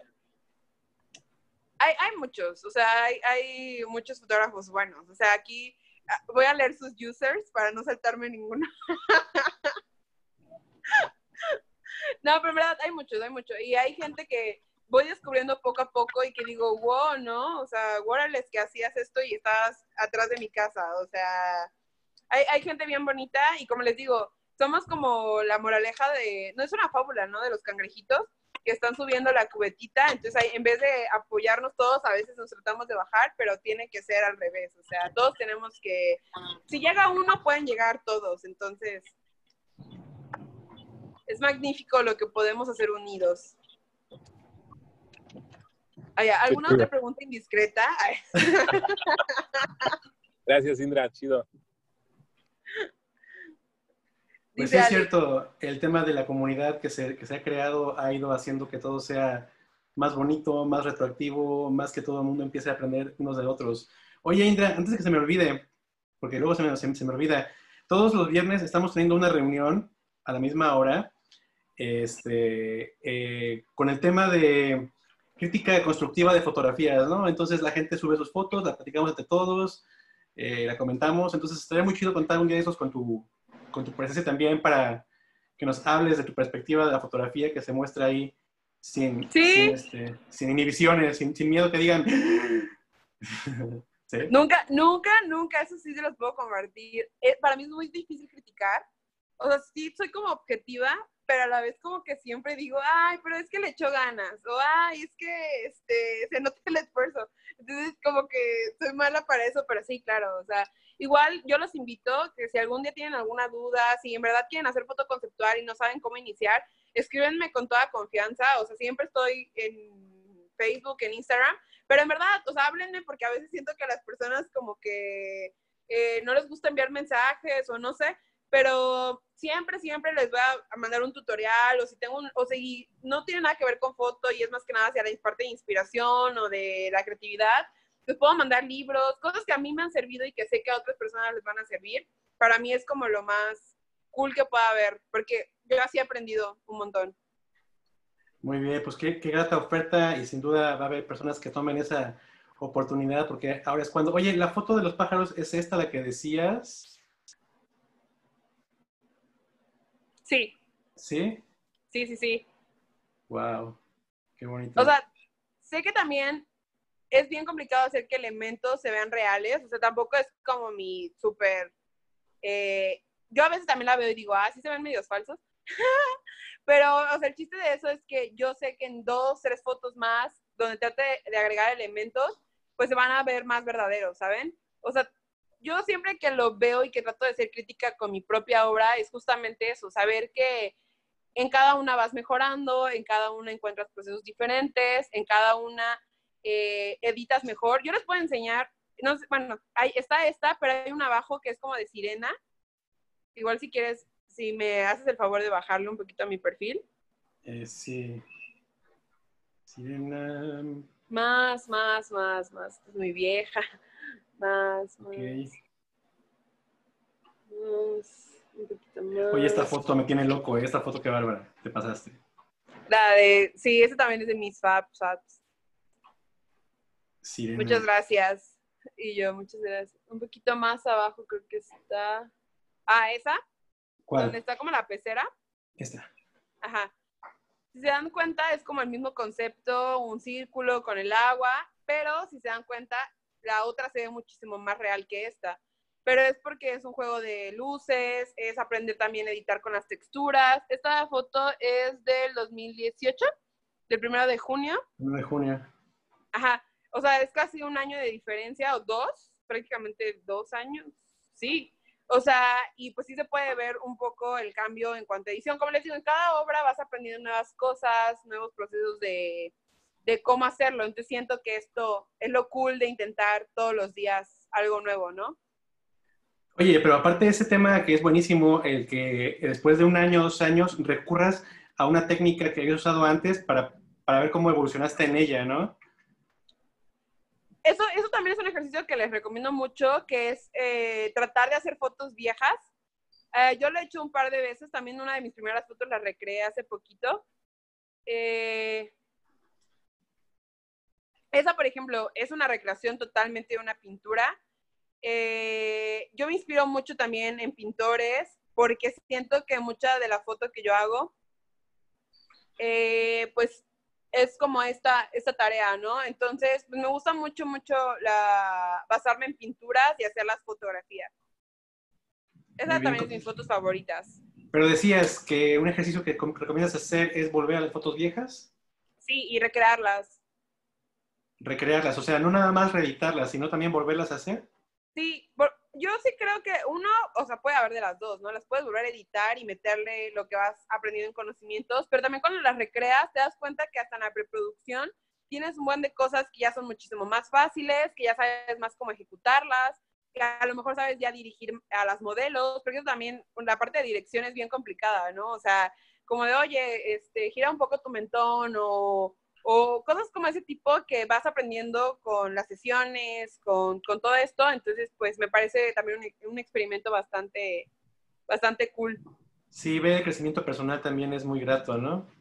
Por ejemplo, esa de donde salgo como de viejita. ¿Eres tú? Sí, sí soy yo. Si le das a la siguiente, o sea, no, no, no, a la misma foto, esta está como en dos partes. Ajá. Ah, órale. Eh, no sé si vieron Dark. Dark es una de mis series favoritas que está en Netflix. Eh, tal vez ocupé mucho el concepto, pero por ejemplo, me, me dio tanta intriga saber cómo me iba a ver de viejita que dije, wow, o sea, me voy a recrear yo de viejita, ¿saben? Entonces eh, me photoshopeé, así obviamente, porque pues estaba difícil. Pero pues bueno, este fue el resultado y les digo, mi concepto pueden hacer de una frase de una película, de un poema, de una canción, de una misma serie. Entonces, pues sí, eso también es de mis fotos Fabs. Y es inspirada en Dark. Por si no la han visto, es de mis recomendaciones para esta cuarentena. Perfecto. Chicos, preguntas por ahí. Esta me recuerda mucho a, las pinturas que hace esta Iliana Pámanes. ¿La conoces?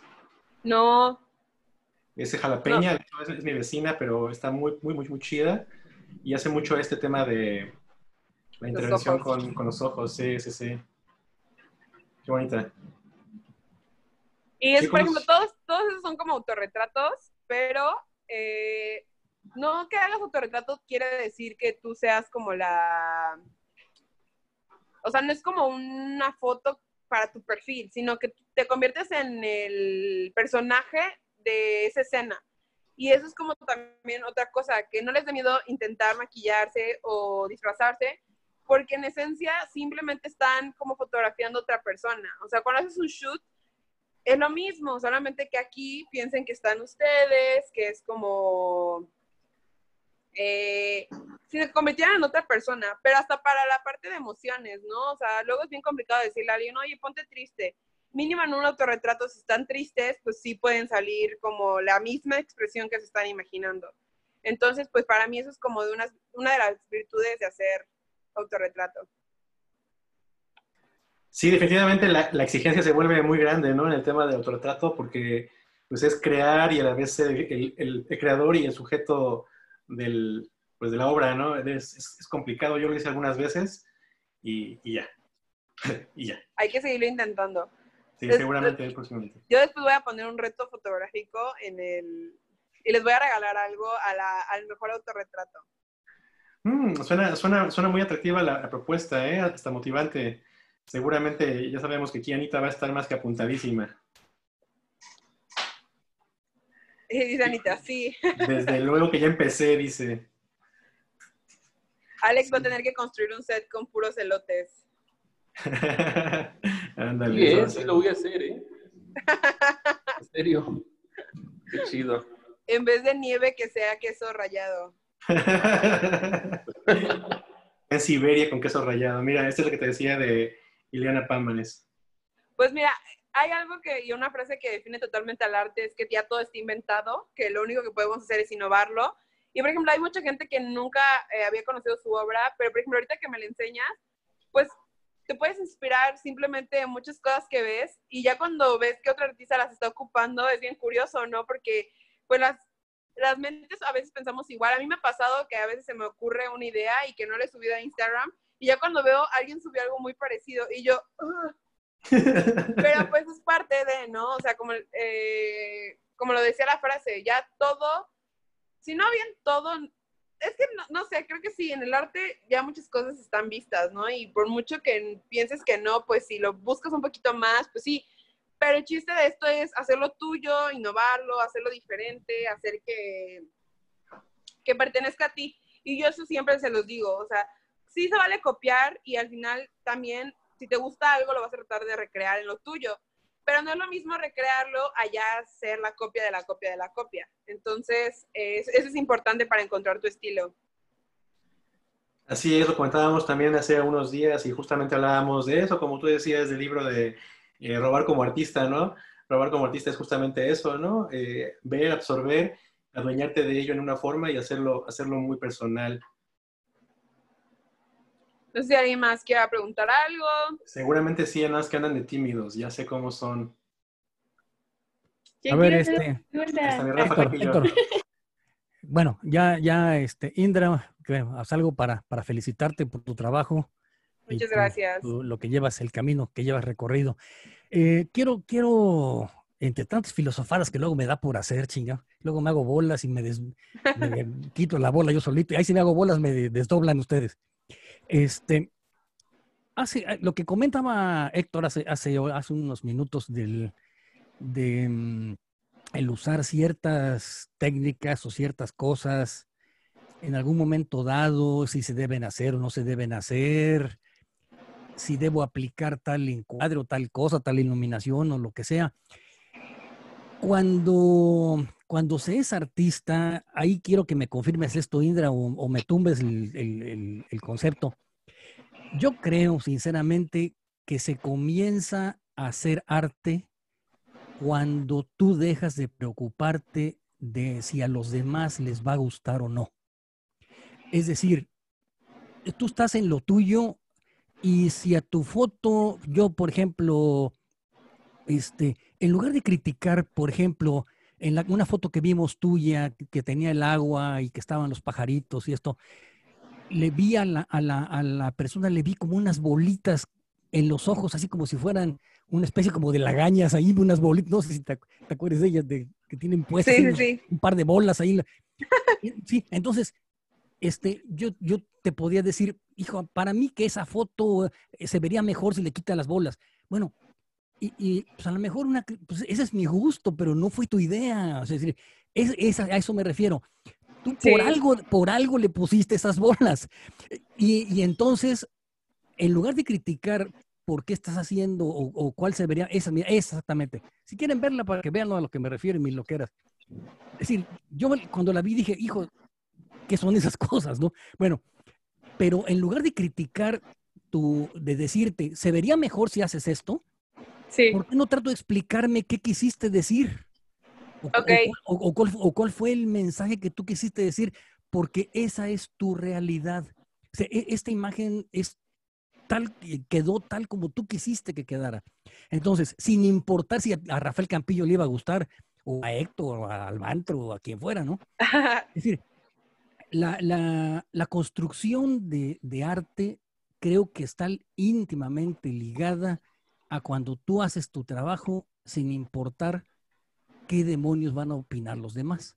Cuando tú tienes que hacer un trabajo, bueno, ahí, ahí me van a echar tierra a lo mejor algunos compañeros, pero cuando tú tienes que hacer un trabajo donde te tienes que estar preocupando si a la otra persona le, va, le tiene que gustar o no, híjole, ahí te limita mucho en tu parte artística.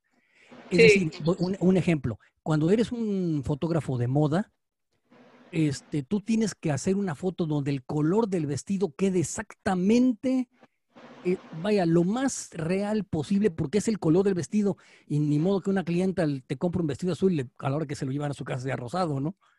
Entonces, eh, un fotógrafo que, que se dedica a hacer trabajo buscando que la persona que retrata o la modelo esté contenta con la foto, está, está, está cortando mucho de su parte artística. ¿De acuerdo? Porque a lo mejor él tenía otro concepto, pero está con tal de, de no quedar mal, hace cosas que, que, ya se salen de lo que él quería lograr, ¿no? No sé si compartas esto, pero bueno, creo que ahí en ese momento es cuando la foto se convierte en arte. Cuando realmente alguien no da explicaciones, para mí la foto es así porque yo la quise así yo la, yo la visualicé así. No es egoísmo, esa, es una, se puede malinterpretar como un egoísmo o un, no, pues yo hago esto porque mis, mis pistolas, ¿no? No, no, sino que simplemente cada quien ve las cosas de manera distinta y tú pones tu realidad al juicio de los demás. Es el comentario, Indra. ¿Qué opinas de esto? Que me gustaría escucharte. Creo que simplemente ya lo resumiste. O sea, siento que en la categoría de arte donde te quieras expresar es fundamental también saber cuánta libertad creativa tienes, ¿no? Por ejemplo, yo te puedo compartir que también trabajo haciendo marketing, trabajo para ciertas marcas.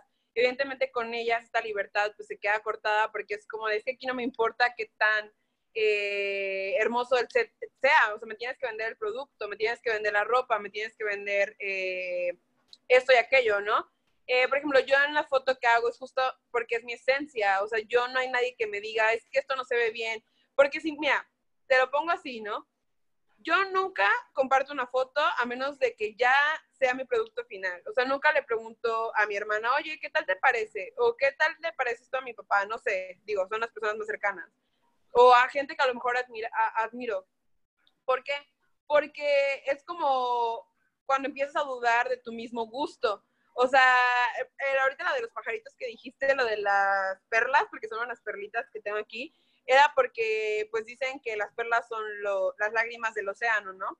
Entonces, pues, de hecho, esta foto que es como después de la tormenta significa, o sea, para mí el agua que me está como tapando apenas es justo cuando te dejas llevar por todas estas sensaciones negativas, pero la parte de arriba que está color era como esta cuestión de que siempre, o sea, siempre se puede ver el sol, vaya, o sea, siempre hay una dualidad. A mí me gusta mucho esto, ¿sabes?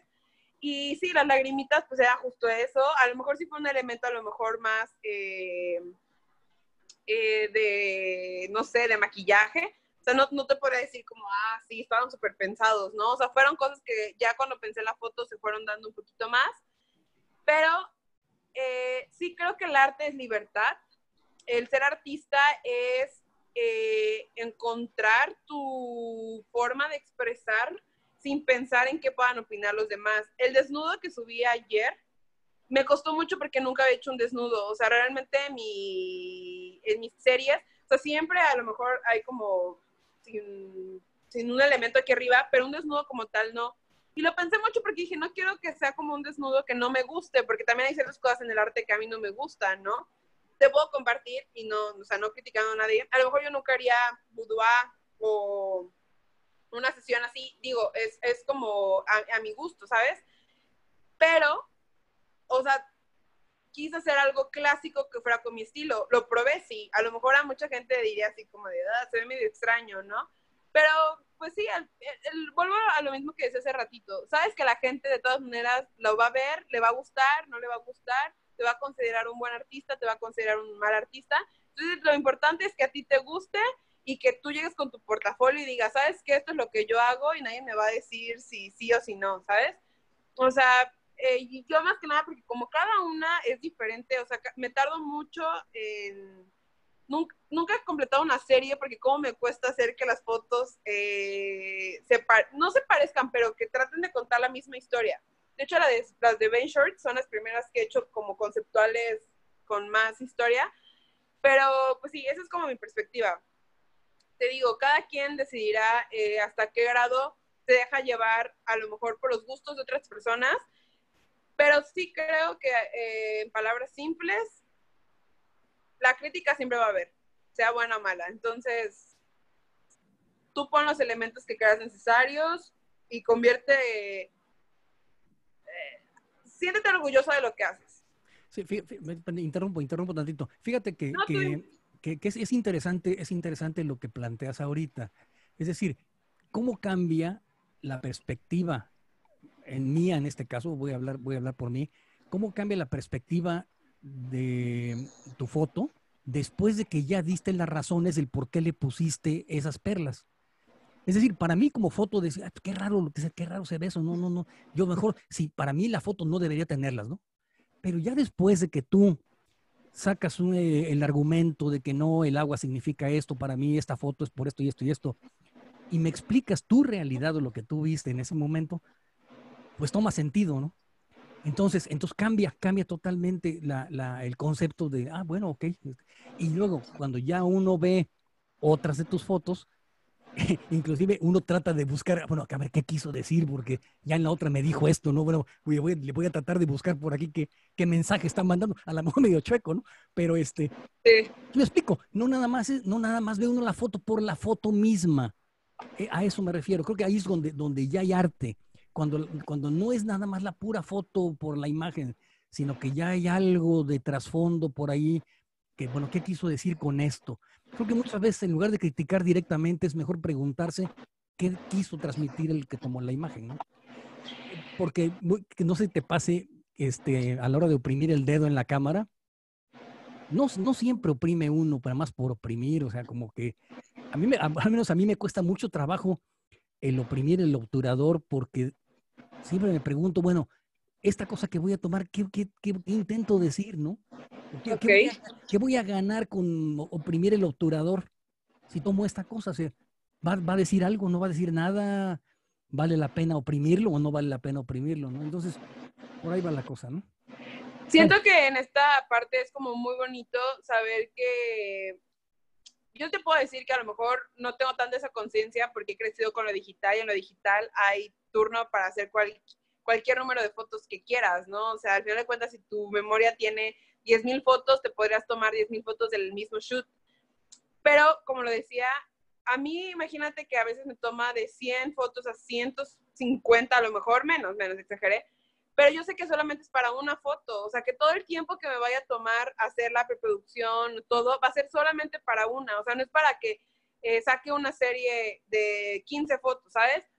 Pero eso es como que lo vas aprendiendo y vas apreciando que en realidad es como una escultura, o sea, eh, a veces la foto la comparan con otro tipo de arte y por eso se supone que la foto antes no era considerada algo como de bellas artes, pero porque es tan mágico, o sea, tal vez eh, yo siempre lo comparto. Lo único que no vas a poder transmitir a otra persona es tu ojo. O sea, el ojo que tú tienes para crear es la magia en realidad. O sea, yo he visto fotógrafos de moda, de paisaje, de retrato, que transmiten en una pieza, o sea, en una sola cosa, algo maravilloso. Y yo creo que eso habla mucho de la foto conceptual, que te cuenta una historia en una solamente, en una, en un cuadro.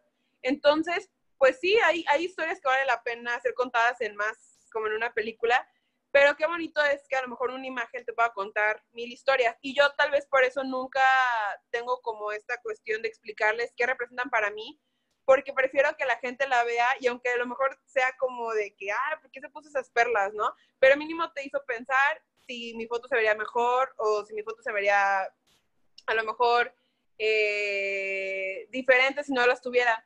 Entonces, pues sí, creo que esa es la tarea de la foto conceptual, hacer que la gente piense qué es lo que trataste de hacerle entender. Pues muy bien, muy bien, Indra. Este, ya no, ya no quiero tomar más tiempo, pues no me van a regañar. Ah, no. Además para, no, además para dar, para dar margen a que otro compañero por ahí también exprese su, su opinión. Y luego me gusta meter, pero ya también me pico y me regaña Héctor. Bueno, Sale, este, Indra, muchas felicidades. No, puro Un ¿eh? abrazo. Puro, puro no hay problema, cuando quieran ahí. Dijeran por ahí los gringos, just a joke. Ahí nos vemos. Oye, pues qué, qué, interesante pregunta y me encantó la forma en lo que, la, cómo has llevado la, la, respuesta porque nos ilustra definitivamente la perspectiva que vive un, un, artista de la fotografía conceptual. Aquí yo creo que podemos concluir dos cosas que se, que se emanan muy claramente de tu conclusión, Indra, respecto a esta pregunta. Por una parte es que eh, eh, la fotografía está orientada a un público siempre, ¿no? O sea, en estos casos tiene un público. El público puede tener dos formas de ver la foto. Una forma muy analítica, de manera simbólica, porque los símbolos que tú agregas a cada fotografía para ti dentro de tu concepción visual están basados en historias, en, conceptos, en cosas que sí existen, ¿no? Como la, la perla es la, la lágrima del, del, mar, ¿no? Como el color tal representa tal emoción, como muchas cosas tienen diferentes significados, entonces puede haber un público que sí esté orientado a ese conocimiento de los símbolos y otro que no, es simplemente ver la foto por ser foto, ¿no? Y también en ese sentido creo que hay fotógrafos de los dos lados, porque sabes que hubo un boom hace unos años del fotógrafo conceptual que justamente lanzaba elementos a, como si fuese ensalada, pero sin sentido. Y entonces venía el, no, pues es que es conceptual, ¿no? Y hacer conceptual, pues no puedes decirme que está mal. Pero no, no, no, es que esté mal, es que no comunica nada porque no está basado en un razonamiento o emoción previa, ¿no? Creo que eso es algo que, es muy bonito que tú lo aportes, porque sin duda marca a una generación que está produciendo material nuevo y que tiene todo el acceso a la información, como tú decías, ¿no? Tenemos ahorita de alcance 20 mil millones de recursos para documentarnos. Sí, es, creo que ahorita me hicieron pensar hasta en mí misma, porque creo que como hago mi obra nada más para sacar lo que mi mente quiere, realmente meto los elementos que siento que cuentan mi historia y la lanzo pensando que a lo mejor alguien se va a identificar con mi arte o que alguien lo va a ver y va a contar su propia historia. Siento que al final es lo que hace que mi foto siga siendo tan mía y no crean que todo el tiempo produzco, o sea, hay meses donde me he pasado eh, sin hacer nada, donde realmente todo lo que hago me parece... Pero eh, siento que cuando realmente logré conectar los dos y verlo como de que desde mi perspectiva puedo lanzar mensajes. Una de las últimas fotos que subí también se llama Reconexión, que es dos teléfonos que se están haciendo como esta cuestión de Miguel Ángel, de la, creación. Ajá, y yo estoy fascinada con esa pintura. Gracias a mi papá la tengo aquí en mi sala. O sea, es un constante como elemento que siempre veo. Pero ¿por qué le hice así? Porque la creación para mí significa eso. O sea, cuando dos mundos se juntaron y cuando fue como el choque entre lo divino y lo real. Entonces, para mí es lo, mismo que está pasando actualmente, ¿saben? O sea, estamos como conectándonos y le puse reconexión porque justo estaba haciendo una videollamada y me dio mucha ternura porque parecía cuando se perdía la señal, decía reconectando. Entonces, todos esos elementos los traté de transmitir con esta obra y la mariposa, para mí la mariposa es un sello que yo tengo, eh, igual que las flores, las mariposas para mí eh, son muy importantes por todo el efecto, eh, por muchas cosas, ¿no? Que he crecido con. Entonces, pues, era una obra que para mí ahorita me representa totalmente la cuarentena, ¿no? Así es como el, me siento ahorita con todos ustedes. Y pues sí, o sea, si les, si les tratara de explicar cada uno más, siento que nos llevaríamos otras tres horas. Y tal vez ustedes también, me gustaría mucho, si alguien algún día quiere analizar una de mis fotos y me lo manda, estaría bien cool porque nunca, creo que alguien me ha mandado un análisis eh, de obra. Entonces, pues sí, eso tienes mucha razón, Nick. Está bien chido el hecho de que pongas esa, esa propuesta abierta porque seguramente muchos hemos visto tu, tu, fotografía y nos provoca muchas cosas y estaría muy interesante ver la conexión que se genera a través de los conceptos que tú tienes de tu vida con los que unos percibimos de, la fotografía, ¿no? Eso está, está padrísimo. Este, creo que Anita tenía una pregunta antes de que interviniera eh, Rafa. Sí, este, te iba a preguntar acerca de cómo es más o menos o a grandes rasgos todo tu flujo de trabajo, porque lo que sí sé es que si eh, tienes ya visualizada toda la fotografía o la obra que quieres hacer, los elementos, los símbolos, la manera en cómo lo vas a editar, qué es lo que le vas a poner, las texturas que llevan, pero por ejemplo, ¿cómo, cómo llegas a todo ese proceso? ¿Cómo llegas desde la, la idea inicial a empezar a hacer los bocetos? No sé cómo le hagas para tener como ya una idea más concreta. Siempre que doy mis talleres, digo que es súper importante anotar y hacer sketches y tener una libreta donde vayas apuntando. Creo que tan mentalmente ya lo tengo estructurado que la verdad me salto todos esos pasos pero sí creo que cada idea que se me ocurre la voy como poniendo acá o notas de celular, o supongo como de, hoy se me ocurre algo sobre la teoría del amor, ¿no? La teoría de la soledad, o cualquier cosa que voy escuchando que me gusta, veo cómo la puedo trasladar a mis fotos. Ya de ahí eh, veo qué elementos tengo y qué es necesario que consiga o que pueda tener en postproducción, ¿no? Eh, creo que ahorita desde que tengo como luz artificial, se me es más fácil porque pues ya a cualquier hora del día puedo aprovechar y puedo hacer cosas, pero sigo ocupando luz natural tal cual. Ya ahí sería como la producción, que es donde me maquillo, o sea, en dado caso que vaya a hacer un autorretrato, pues igual me maquillo, veo los elementos, eh, veo qué fondos voy a ocupar, empiezo a hacer como una proyección mental de cómo quiero la foto final, ¿sabes? O sea, si ya sé que voy a estar en medio, que me voy a hacer tres veces o que me voy a poner otro ojo o, o qué sé yo, es como me lo voy imaginando. Y ya eh, una vez que tengo, o sea, tomo las fotos, a veces neta me gustaría grabar un detrás de cámaras porque se reirían, o sea, hay como un buen de cosas que me tiro, me agacho, corro, le pongo, o sea, son como un buen de, o sea, da risa, da risa, porque se ve todo muy profesional, pero no. Y ya de ahí yo creo que en la postproducción es cuando me meto cinco o seis horas a limpiar fondo, a poner los colores, a ver qué texturas combinan. creo que lo que más me tardo es que, por ejemplo, en esta cuestión de eh, fusionar imágenes, o sea, de poner elementos que se vean reales. O sea, porque ahora ya no me gusta como esta parte de, ah, sí, que todo parezca medio ahí, ¿no? No, o sea, sí, que se vean reales, que todas las sombras combinen, que todas las luces estén donde deban de estar. Eh, si se dan cuenta en esta, bueno, la que estaba diciendo con Nick, si la pueden analizar después, la sombra de los brazos que tienen como ese brillito es porque la pantalla así se reflejaría. Este, eh, me doy mi tiempo ya como de evaluarla a fondo cada una y yo creo que ahí es donde digo, ok, ya está, me la mando y órale, se va hacia Instagram, ¿no? Eh, así es como te podría resumir mucho. Espero que pronto pueda hacer un en vivo o algo donde la gente vea cómo es como un detrás de cámaras. No lo he hecho porque me cuesta mucho organizarme y no parecer así como, ah, pero bueno, es lo más real. Entonces, pues sí, ese sería como mi flujo de trabajo, Anita. Gracias. Oye, estaría padrísimo hacer un, a lo mejor no, un en vivo directamente para no hacer tanta este, presión sobre ti, pero estaría chidísimo que te echaras un time lapse así de una sesioncita para ver todo así en rápido y loco y seguramente se va a ver chistoso también. Sí, sí, sí, espérenlo en mi Instagram. estaría buenísimo, estaría buenísimo porque siempre es grato ver el trabajo que se hace detrás de cámaras, no solamente por, por el tema de, de meterse en la mente, sino por también el hecho de apreciar el valor de trabajo manual que algunas veces requiere una, una pieza que vemos como, ah, es que le metió Photoshop.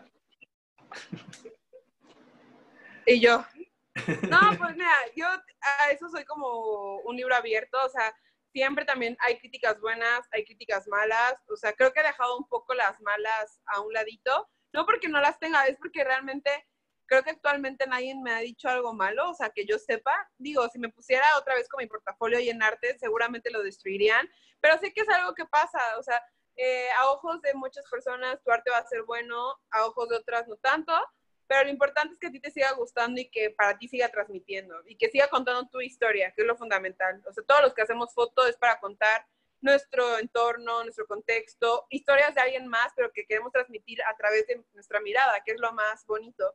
Entonces, pues sí, o sea, hay varias sorpresitas que les tengo ahí también en Instagram. Estoy dando como una especie de, no clases, pero sí estoy subiendo como gente que me inspira y estoy tratando de darles eh, como un par de tips, por ejemplo, de Wes Anderson, su paleta de colores, su simetría, su teatralidad. O sea, esas cosas se las voy dejando. Entonces, todas estas semanas he estado subiendo, es la primera semana, pero las que vienen va a seguir.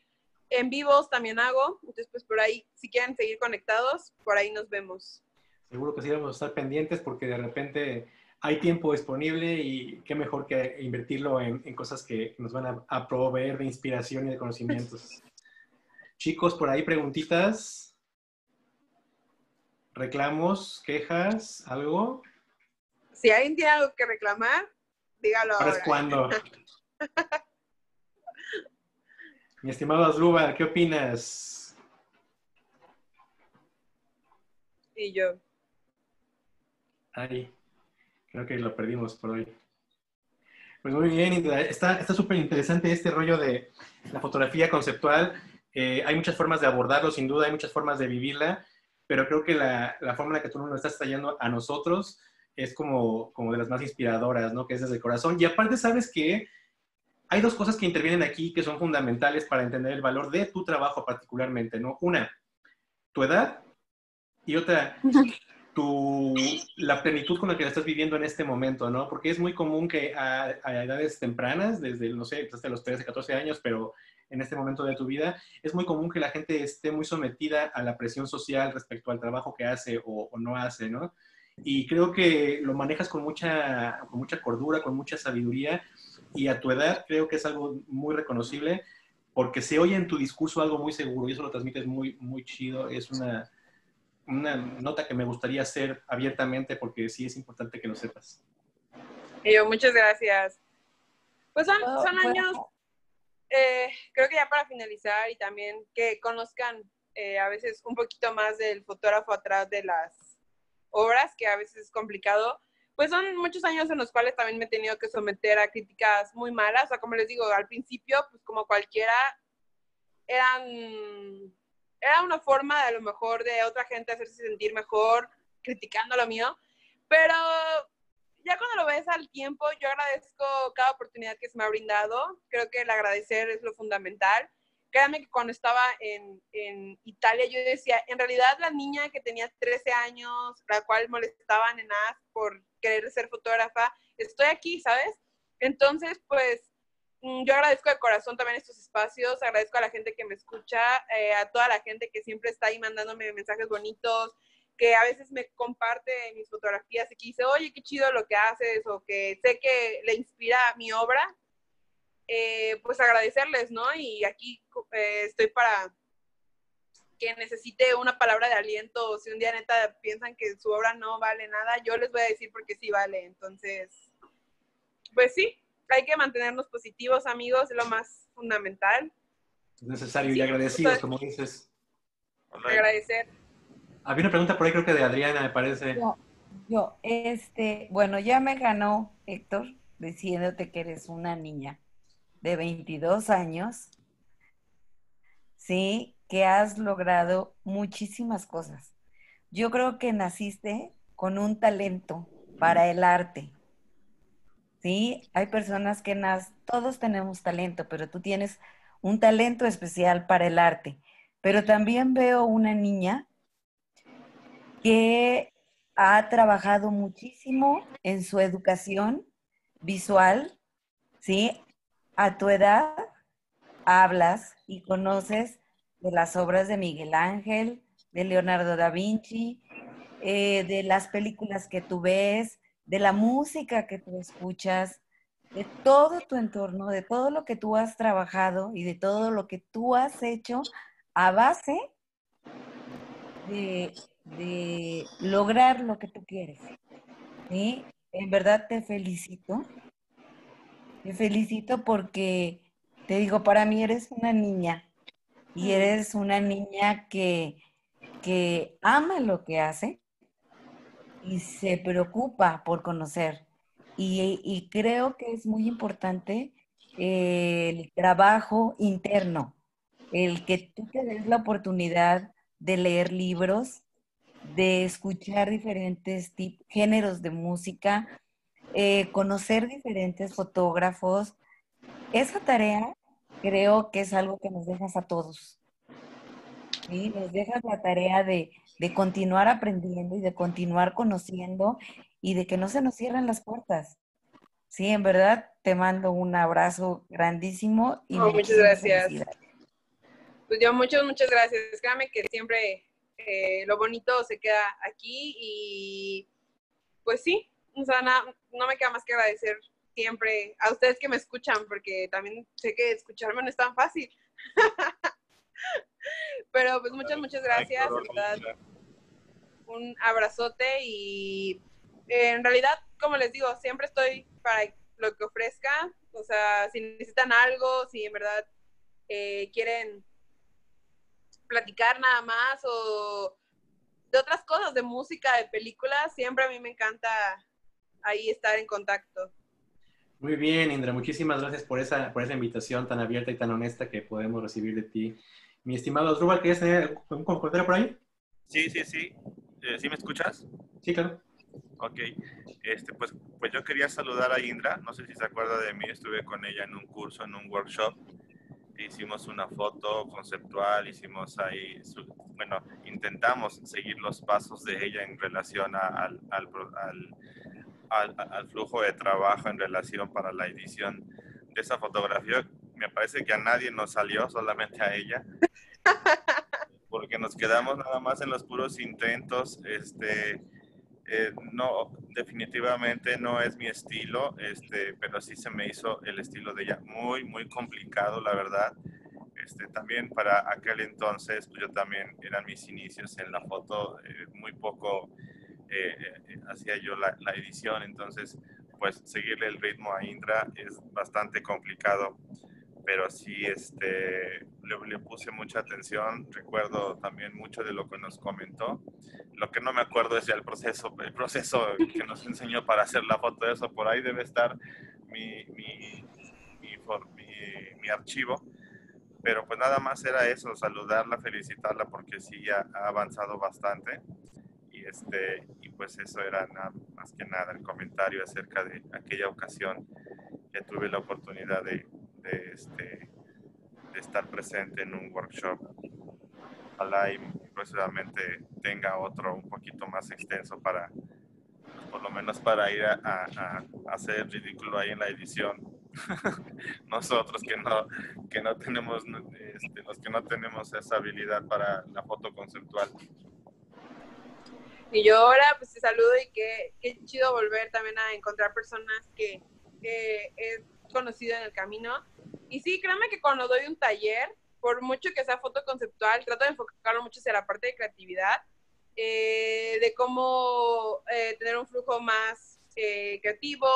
hay gente que no conoce tampoco como las etapas de la creatividad. Y bueno, obviamente que siempre también se los explico, en un workshop es bien complicado eh, llevarte todo a casa porque son tantos conocimientos en unas horitas que a veces es como de wow, o sea, agarra lo que cachas, pero siempre se puede aplicar, ¿saben? Entonces, pues qué gusto saludarte, espero que en esta cuarentena, aunque la foto conceptual no sea lo tuyo, pues puedas experimentar ahí un poquito con Photoshop, porque siempre aunque salen cosas raras, siempre sale algo, entonces, aunque sea una foto de una comida o algo, se pueden hacer cosas bien curiosas.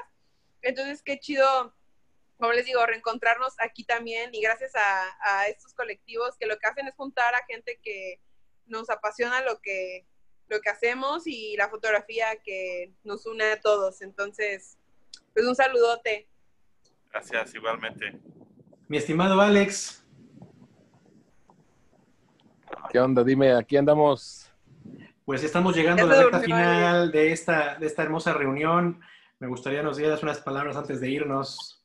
Sí, este, antes que nada, este, muchísimas gracias, Indra. La verdad estoy, estoy contento porque hayas participado en, estas dos horas que para mí fueron magníficas. Este, como lo hemos comentado con todos los fotógrafos, ¿verdad? Este, descubrimos otra historia, otra parte de, de esa fotógrafa que admiramos, ¿verdad? Eh, y que vemos en las redes sociales como persona te me haces este, una persona muy humilde, que, que aporta y que eso quiere decir que, que, que te, que, las cosas se te y yo no sé si solo a mí se me cortó. ¿Me escuchan? ¿No? Sí. ¿Sí? ¿Sí escuchan? Creo que se me trabó un poquito. Sí, te, se te está trabando, ¿verdad? Bueno, ya bueno. ¿Escuchas ya? Sí, te escuchamos, Alex. Escuchamos. Ok, este, pues para resumir todo, muchas gracias, Indra. De verdad estoy muy agradecido. Este, se, se ve una persona con disciplina, pasión, amor y constancia en la fotografía y en la fotografía que ha dado buenos resultados y eso nos motiva a seguir tus pasos, ¿verdad? Este, agradecemos el apoyo. Yo creo que nuevamente te vamos a invitar ahí. Este, si esta cosa sigue de la cuarentena, te vamos a volver a invitar porque la verdad tienes muchos temas de qué hablar y de qué compartir. Este, pues yo creo que sería todo de mi parte. Y sí me gustaría ceder la palabra al buen Héctor para que pueda concluir este lindo programa que la verdad este, estuvo muy chido. ¿eh? Muchísimas gracias, este, Indra. Te mando un fuerte abrazo y un elote. Cuídate mucho.